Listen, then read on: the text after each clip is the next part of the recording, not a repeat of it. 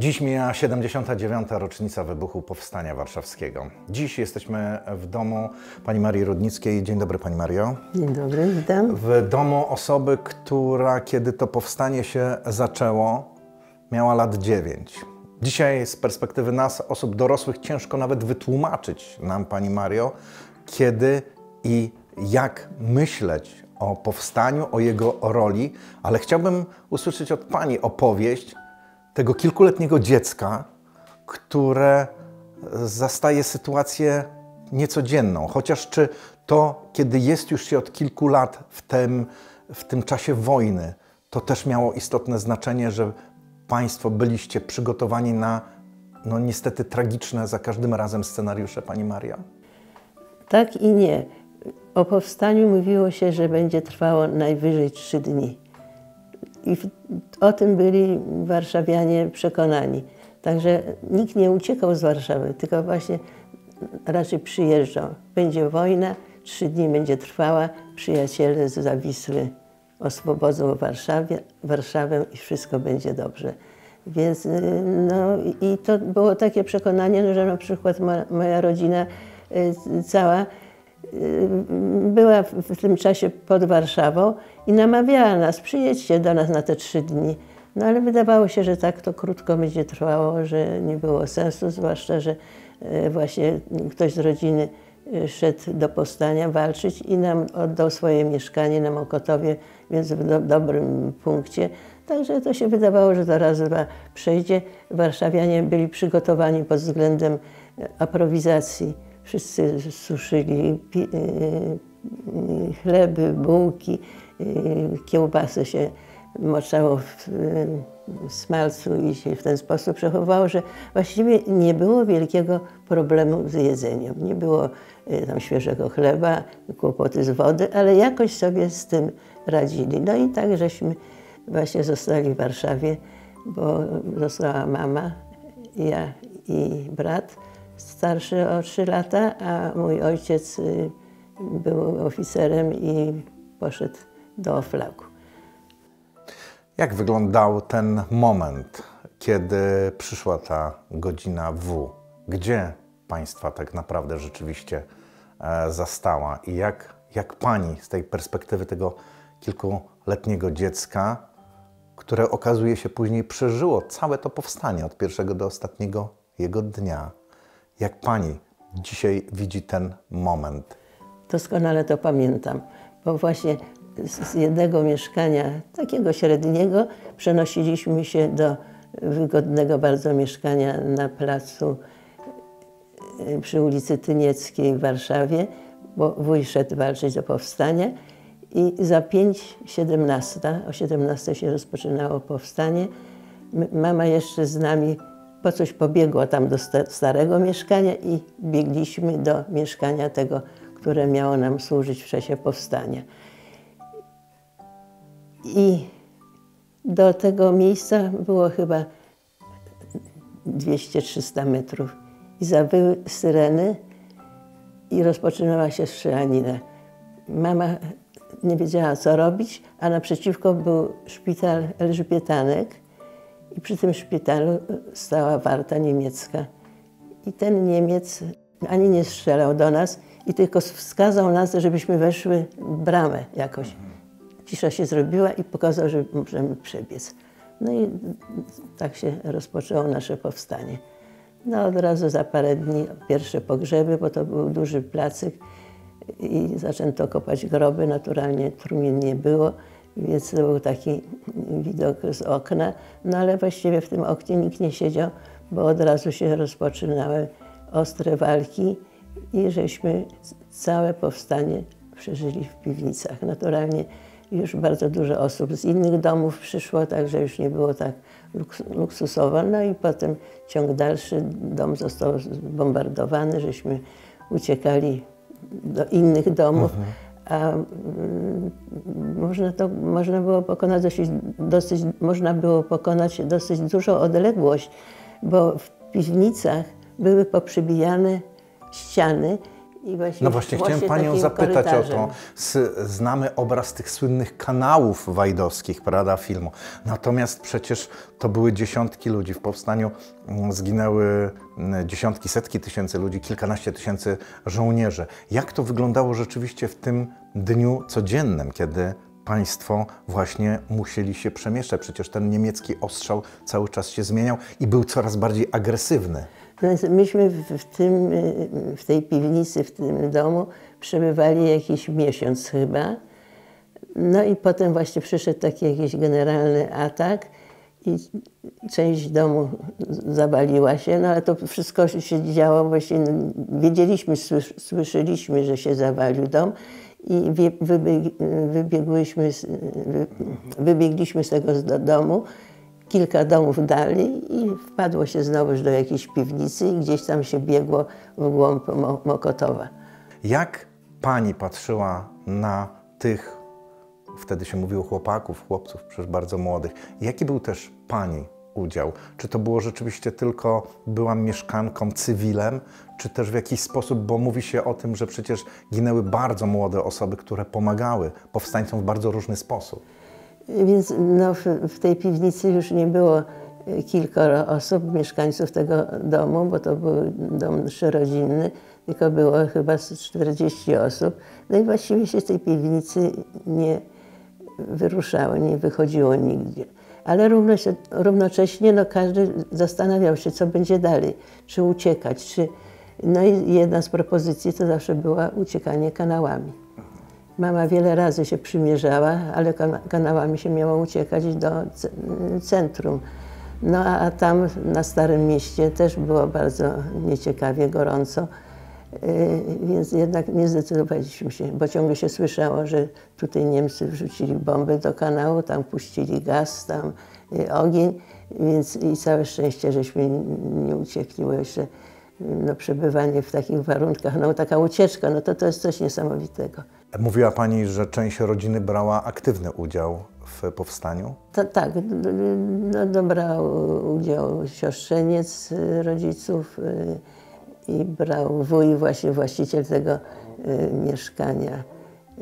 No, na, na szczęście właśnie nikt z, nie, z, bliższych osób, jedna właśnie siostrzeniec zginął, ale on był na zapleczu Warszawy, w Borach Tucholskich i stamtąd właśnie mieli pomagać warszawianom.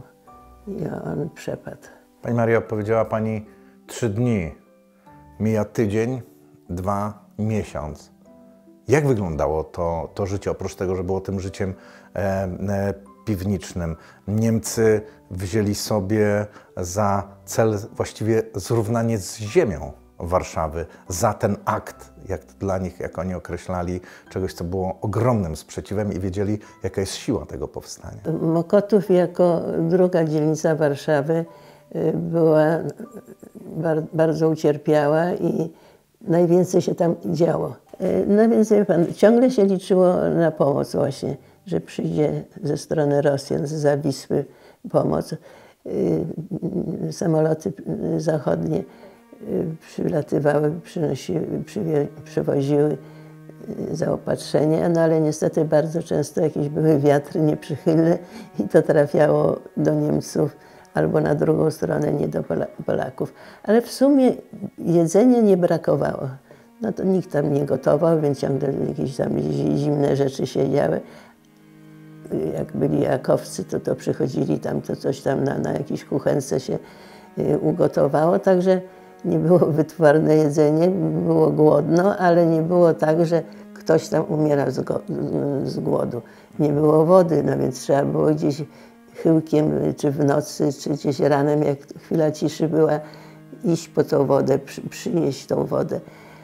Y, Więc to nie było naj, y, właśnie takie najbardziej uciążliwe. Ciągle słuchało się po cichu radia Wolnej Europy, y, BBC, jakie wiadomości, czy są jakieś rozmowy prowadzone y, między władzami. No i, i tak to płynęło, no, ciągle z nadzieją, ciągle y, Akowcy też nieraz nocowali, bo przecież oni nie mieli żadnych koszar, y, ty- tylko raz tu nocowali, raz tam. młodzi, śmieli się jeszcze. Jakoś tak nie było, nie czuło się tej takiej rozpaczy, bo, bo ciągle wszyscy żyli tą nadzieją. No, nikt, się, nie, nikt się nie spodziewał, że powstanie będzie trwało, no to tam 20, 63 dni. tak, że powstanie będzie trwało dwa miesiące. Pani Mario, dzieci. Pani wtedy jest dzieckiem. Obok też były dzieci. To był e, czas, no, który no, zostaje w umyśle do samego końca. Jak wyglądało to dziecięce życie? Nie, dzieci nie było, tylko byłam ja i brat, dwoje było dzieci. Właśnie zastanawiałam się, cośmy robili sobie przypomniałam, że były karty i żeśmy stawiali pasjanse. I z tego czasu znam mnóstwo pasjansów. No jakieś tam grę w wojny żeśmy grali. No i tak siedziałam, trzymając się tej mamy za spódnicę. Zawsze wszyscy się śmieli, że ja zawsze za spódnicę mamy e, trzymam. No, no i no, słuchaliśmy co mówią starsi. Nie było tego, tego, że przy dzieciach się nie mówi o takich czy innych sprawach. Wszystko byliśmy świad, świadkami. Te noce okro, okropne już od rana, strzelanina, no, śniadanie. Gdzieś tam się zjadło znowuż te wiórki. Mówi Pani śniadanie. E, Dzisiaj to pewnie byłoby zupełnie inne e, śniadanie. Nawet nie myślimy o tym, jak takie śniadanie mogło wyglądać. Było światło, czy było ciemno? Przecież ta piwnica Nie, nie, by, nie była światła. Czasami się zapalało, ale tak to głównie y, świece, jakieś tam na- naft- nafto, naftowe la, lampki. Gotowania naturalnie nie było. Czasem tam się za- zagotowało e, herbatę. Czasem wpadli jacyś powstańcy, po- po- powstańcy, więc dostali herbatę, coś do zjedzenia.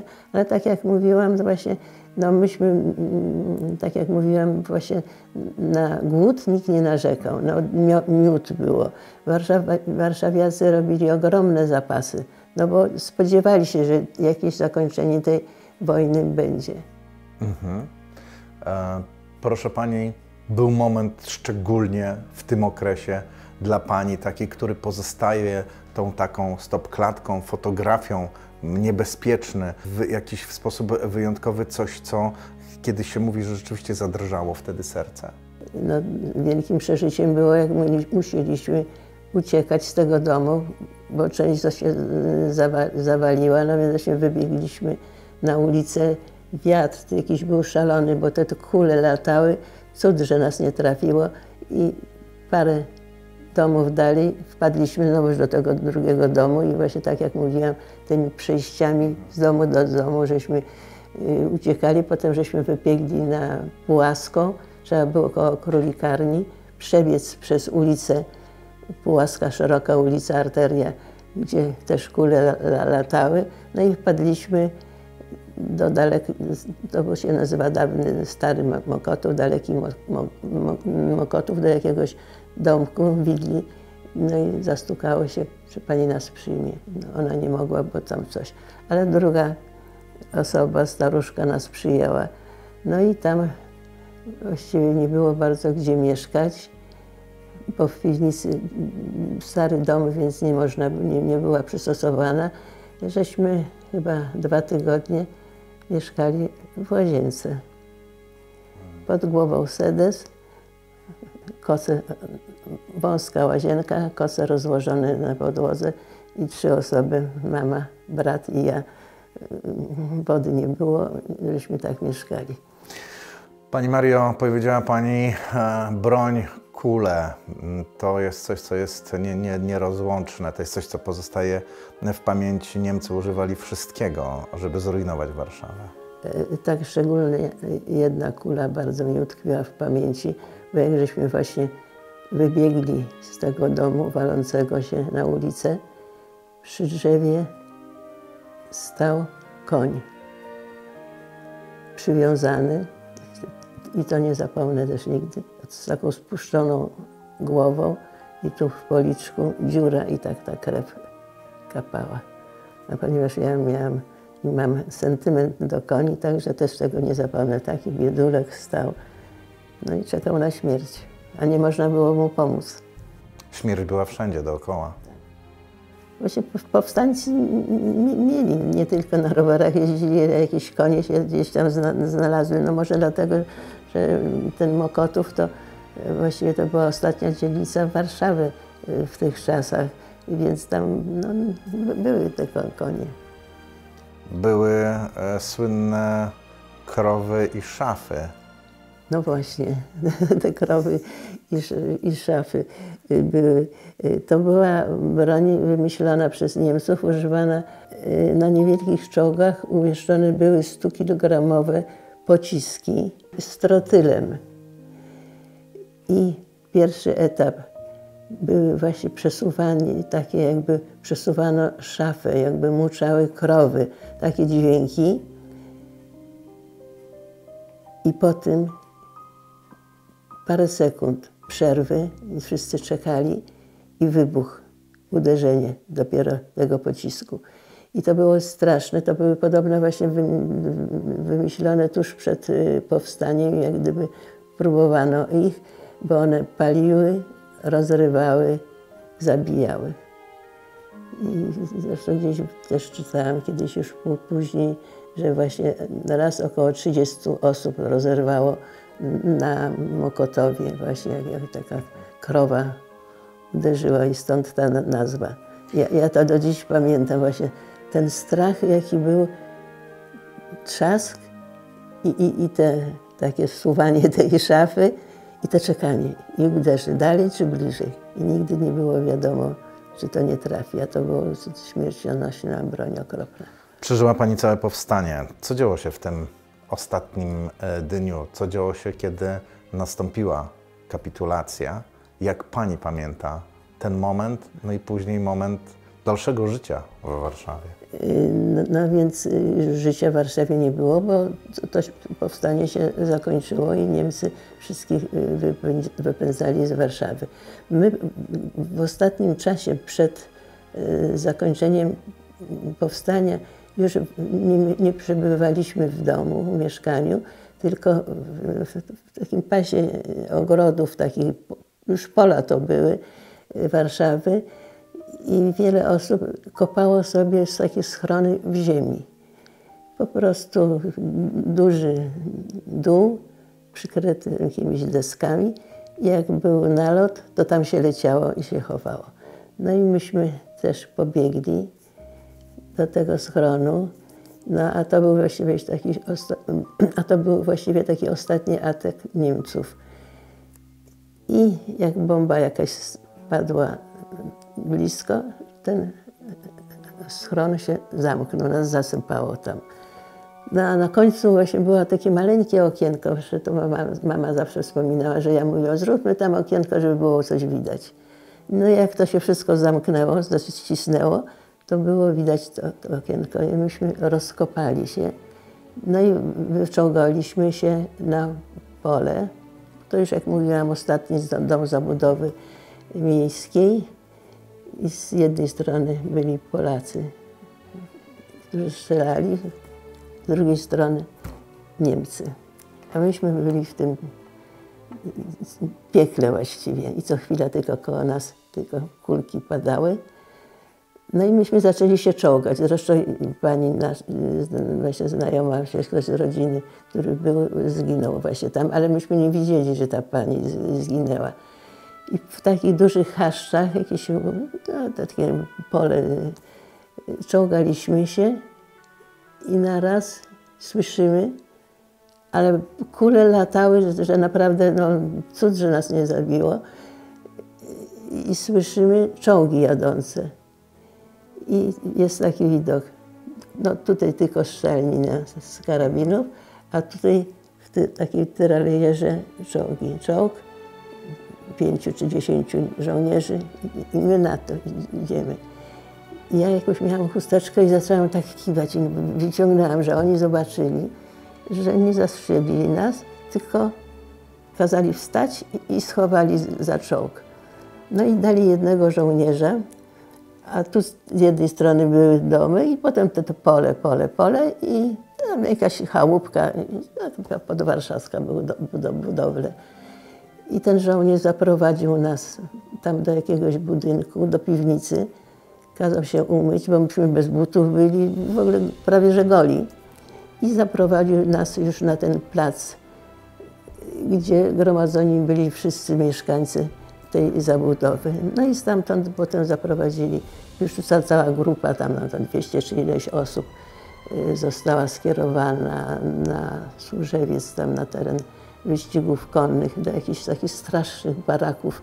Nas puścili, jakieś robactwo, ojej, czego tam nie było, przenocowaliśmy i na drugi dzień znowu na piechotę pędzili nas do Włoch, takiej podwarszawskiej miejscowości i do Pruszkowa, gdzie był obóz y, przejściowy. I stamtąd wywozili w różnych kierunkach. I myśmy z, tego, z tej, tej, grupy tam 200 czy iluś osób pędzonych, znaczy w tych Włochach, gdzie były wąskie uliczki, jakaś dziura była w płocie i z mamą brata wcześniej zabrali, ale brat też uciekł. I, żeśmy uciekli stamtąd. No i po, potem do Leśnej Podkowy, tam rodzina była, no i potem już dalej się nami zajęli, z tym, że y, też nie można było się poruszać, bo Niemcy, jak ktoś miał kartę, a ciągle yy, sprawdzali skąd ktoś jest, to od razu kierowali z powrotem do obozu. Na koniec chciałem Panią zapytać, jak z perspektywy dziewięciolatka, dzisiaj, kiedy widzimy biegające dzieci szczęśliwe, jak dziewięcioletnia dziewczynka odbierała to i, i, i, jakie są konsekwencje, Pani Mario, tego wszystkiego? Jakie były, jeśli chodzi o czas wojny, wiemy, ale z perspektywy dziecka dziś, osoby doświadczonej bardzo również przez życie, jakie to miało znaczenie, żeby opowiedzieć żeby może to najnowsze, młode pokolenie zrozumiało, jak ogromna to była ludzka tragedia, nie tylko narodowa, ale ludzka. Warunki, w jakich się żyło, były niecodzienne przez całą wojnę. Normalnie przy dzieciach nigdy się nie rozmawiało o jakichś miłych e, zdarzeniach tragicznych. Mieszkając w jednym pokoju, czy, czy potem w piwnicy, wszystko się działo przy dzieciach. Dzieciach, które nie wszystko rozumiały i się wiecznie bały. Więc mnie towarzyszył cały czas strach, strach, strach. No może trochę się wyzbyłam tego, bo to jednak lata minęły, ale jestem strachliwa, tak jak to się mówi, że taka ostrożna, bojąca się, przejmująca się, no bo to wszystko się działo na moich oczach, prawda? Nie było możliwości ukrycia, niepowiedzenia. No brat na komplety jeździł do centrum Warszawy codziennie strach. Wróci, nie wróci. Komplety się odbywały y, w mieszkaniach nauczycieli, naukowców z Politechniki, profesorów. Przecież Niemcy też wyłapywali y, takie rzeczy, więc codziennie wieczorem godzina policyjna. Y, wieczorem moja mama od okna do okna patrzyła na zegarek, no wróci Romek czy nie, czy, czy nie wróci. I to wszystko, wie pan, się odbiło na moim całym życiu. Więc właśnie no, to, to, to zostało i nieraz już po tylu latach mi się y, śni powstanie. Właśnie te wszystkie przeżycia wrac, wracają. Także to, to, to na pewno, no w ogóle całe życie się, się moje zupełnie inaczej to potoczyło w związku z wojną no i wszystkimi przeżyciami. No, szczęście, że, że ojciec y, wrócił no, brat, brat właśnie uciekł też i, i żeśmy się spotkali y, wszyscy po wojnie, no ale wszystko było inne jest inne.